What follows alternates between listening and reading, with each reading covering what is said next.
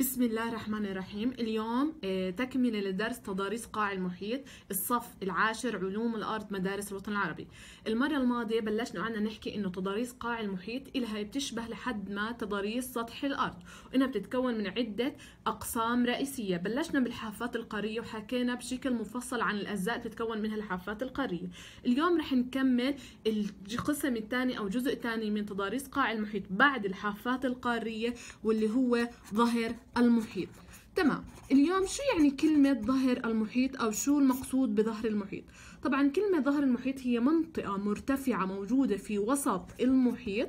طبعا هاي المنطقة ناتجة من الحدود التباعدية لأنه حكينا عنا ثلاث أنواع من حدود الصفائح واللي هم واحد حدود تباعدية اثنين حدود تقاربية ثلاثة حدود جانبية. فلو بدي أحكي عن الحدود التباعدية هي صفيحتين. كل صفيحة بتبتعد عن الثانية باتجاه المعاكس يعني واحدة لليمين واحدة للشمال أما الحدود التقاربية هي عبارة عن الحدود اللي بتتصادم فيها الصفائح مع بعضها البعض يعني بتتجه نحو بعض. أما الحدود الجانبية هي حدود الصفائح اللي كل واحدة بتبتعد عن الثانية بس بالاتجاه المعاكس للحدود التباعدية يعني واحدة للشمال واحدة للجنوب فاليوم درسنا رح يكون عن ظهر المحيط رح تكون بالأخص عن الحدود التباعدية. لأنه كيف بتصير؟ لو بنطلع كتابنا صفحة 37 بنلاحظ أنه منطقة ظهر المحيط هي منطقة تقع في الوسط يعني مو على الأطراف. مو على الأطراف. هاي أول شيء ثاني شيء لو بدي أطلع هون عندي ظهر المحيط ظهر المحيط رح ألاحظ إنه عبارة عن منطقة موجودة في وسط المحيط. طبعا خط طويل آه، رح يفصل الصفائح عن بعضها البعض. طيب نحكي عن آلية تكون منطقة ظهر المحيط. طبعا هي هاي منطقة ناتجة زي ما حكينا عن تباعد صفائح مع بعضها البعض. فبصير عندي ليش صار عندي تباعد صفائح عن بعض البعض؟ بسبب خروج الماجما من اندفاعات بركانية أو عندنا حدوث براكين موجودة في سطح أو في وسط المحيط. هذا البركان بيؤدي لي إلى خروج الماجما منه. بعديها بتبرد وبتتصلب بتكون لي هاي المنطقة المرتفعة اللي إحنا بنسميها ظهر المحيط. طبعا طبعا هاي المنطقة بتشكل لي سلاسل جبلية مهمة لأنه عم نحكي عن منطقة مرتفعة. إذا المظهر الجيولوجي الناتج عنها سلاسل جبلية. معظم أطوالها تقريبا بيصل ل 65 ألف كيلومتر. طولها تقريبا حكينا بيصل إلى 65 كيلو 65 ألف كيلومتر. يعني بنحكي عن ارتفاع أو خلينا نحكي عن طول كتير عالي أو شديد. وعرضها تقريبا بيوصل العرض عندنا من 250 ل 450 كيلو متر فعندنا أشهر سلاسل جبلية موجودة في المحيط. الأطلسي. تقريبا بيحكي لنا إنه معظم هاي المناطق يصل عرضها إلى 16 ألف كيلو متر. 16 ألف كيلو متر. أما بالنسبة لارتفاعها ممكن يصل من واحد لأربعة كيلو متر. إذا ارتفاعها رح يكون من واحد لأربعة كيلو متر. طبعا هاي اللي خلينا نحكي السلاسل الجبلية الموجودة في المحيط الأطلسي جاي أو منتجة زي ما حكينا من تباعد صفائح الصفائح الصفائح المختلفة. طبعا هذه الصفائح المختلفة رح تكون ناتجة من اندفاعات البازلت مع بعضها البعض مما يؤدي إلى تكون سلاسل جبلية في هاي المنطقة أو في وسط المحيط. تمام. أما بالنسبة هذا بالنسبة زي ما حكينا لمنطقة ظهر المحيط. طيب لو بدنا نحكي عن منطقة قعر المحيط هي تاني منطقة أو ثالث منطقة أو ثالث جزء من مكونات تضاريس قاع المحيط قعر المحيط. شو المقصود بقعر المحيط؟ هي عبارة عن منطقة منخفضة. لو نطلع كتابنا صفحة 36 نطلع على الرسمة با بلاحظ هاي منطقة قعر المحيط زي ما إحنا شايفينها. هي منطقة طبعا بتكون محصورة بين الحافات القارية وبين ظهر المحيط. يبقى هي منطقة تقع في الوسط بين الحافات القارية وظهر المحيط. طبعا تتكون من مكونين رئيسيين اللي هم واحد سهول اللج اثنين الجبال البحرية. اثنين الجبال البحرية. طيب لو نيجي نتفصل عن أجزاء قعر المحيط واحد سهول اللوج شو المقصود بسهول اللوج؟ من كلمة سهول يعني هي عبارة عن مناطق شاسعة مناطق منبسطة. هي عبارة عن مناطق قليلة الانحدار. طبعا عمقها ممكن يتراوح من 3 ل 6 كيلو متر بس أهم إشي إنها مناطق شاسعة وكبيرة وواسعة طبعا بتكون أكثر مناطق قعر المحيط انبساطا. يعني لو أنا بدي أدور بقعر المحيط أو خلينا نحكي بوسط المحيط شو أكثر مناطق شاسعة بتكون من حيث الحجم أو من حيث المساحة ومن حيث الانبساط بحكي عن سهول اللج ثاني مكون رئيسي من مكونات قعر المحيط عندنا ما يعرف بالجبال البحرية. كلمة جبال يعني عبارة عن مناطق مرتفعة. هي عبارة عن مناطق مرتفعة. فهاي المناطق طبعا ارتفاعها تقريبا بيجي لعنا لواحد كيلومتر. لو نطلع كتابنا صفحة 42 عنا لما نشوف سلاسل جبلية موجودة متراصة جنب بعضها البعض.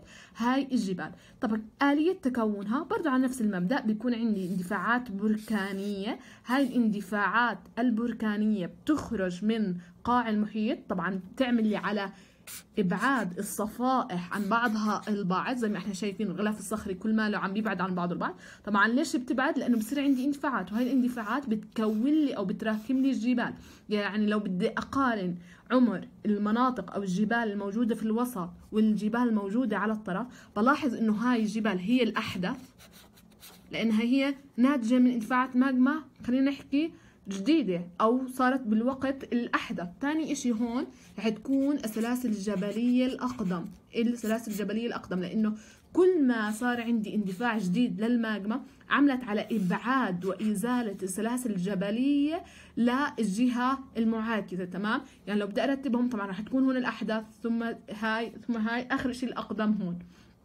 تمام. هلا السلاسل الجبلية البحرية ممكن تكون موجودة بشكل منفرد أو على شكل سلاسل. طبعا ارتفاعها لا يزيد وما بتجاوز الواحد كيلو متر طبعا من إيش ناتجة؟ من ماجما بازلتيه اندفعت ثم بعدت الصفائح عن بعضها البعض في منطقة ظهر المحيط وكونت لي هذه الجبال الجبال. طبعا بما إنه المناطق ارتفعت عن بعضها أو خلينا نحكي صفائح آه، بعدت عن بعضها البعض فهذا كله أدى إلى انتقال الصفيحة اللي بتحمل الجبال. يعني زي ما حكينا الصفيحة بتبتعد عن بعضها البعض. طبعا هاي الصفيحة بتكون حاملة لسلاسل جبلية.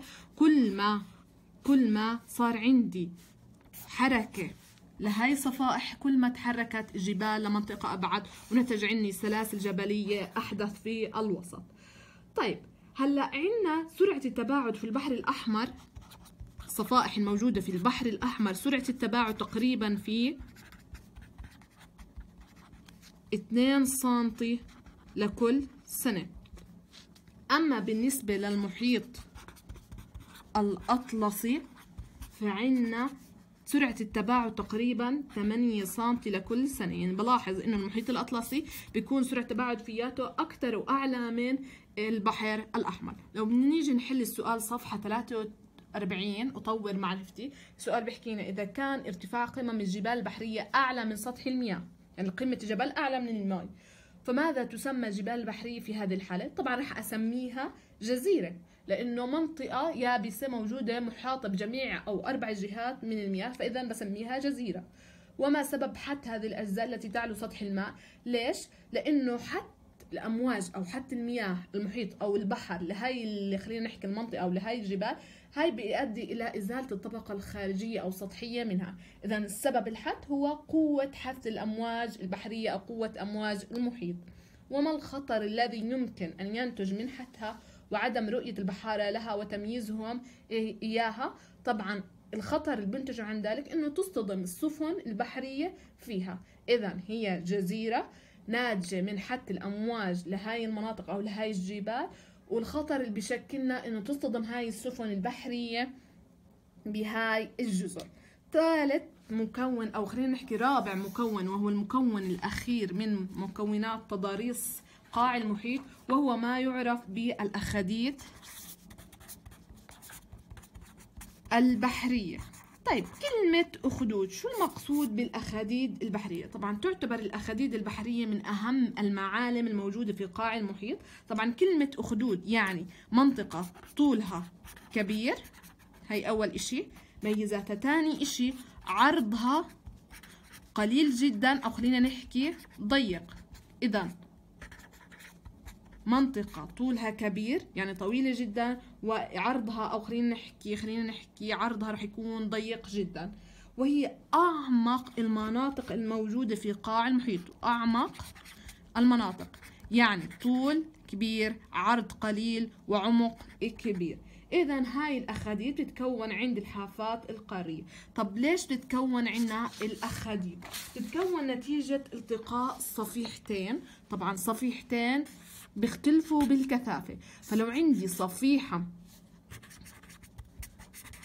محيطية وكنا بنعرف إنه الصفيحة المحيطية بتكون كثافتها أعلى من الصفيحة القارية. وهون عندي صفيحة قارية. طبعا كثافتها أقل. لو بدي أقارنها بالمحيطي كثافة قليلة. فعند لما يجتمع مادتين بيختلفوا بالكثافة. طبعا المادة اللي كثافتها أعلى رح تغوص للأسفل رح تستقر للأسفل لأنه كثافتها أقل.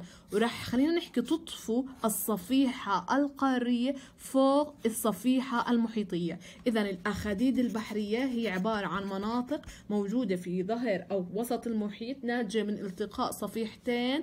إيش مالهم؟ بيختلفوا بالكثافة. تمام؟ لو بدنا نطلع كتابنا صفحة. الموجود صفحة 37 شكل دال طلع كتابنا صفحة 37 شكل دال بلاحظ إنه عندي القشرة المحيطية هي الموجودة هون والقشرة القارية الموجودة عندي هون القشرة المحيطية هي نتبع السهم بلاحظ إنه صار لها عملية غوص ليش عملية غوص؟ لأنه كثافة إيش مالها؟ عالية الكثافة عالية. أما القشرة المحيط القارية استقرت فوق القشرة المحيطية لأنه كثافتها قليلة. فتكون عندي أخاديد بحرية. لو بدي أحكي عن أشهر الأخاديد البحرية الموجودة عندنا في العالم عندنا أول أشهر أخدود عندنا أخدود ماريانا الموجود في الفلبين. تقريبا طوله ممكن يوصل ل 3700 كيلومتر. 3700 كيلومتر. عندنا تاني أشهر أخدود أخدود ألاسكا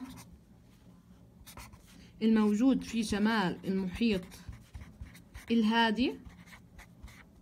وعرضه تقريبا ممكن يوصل ل 100 كيلومتر.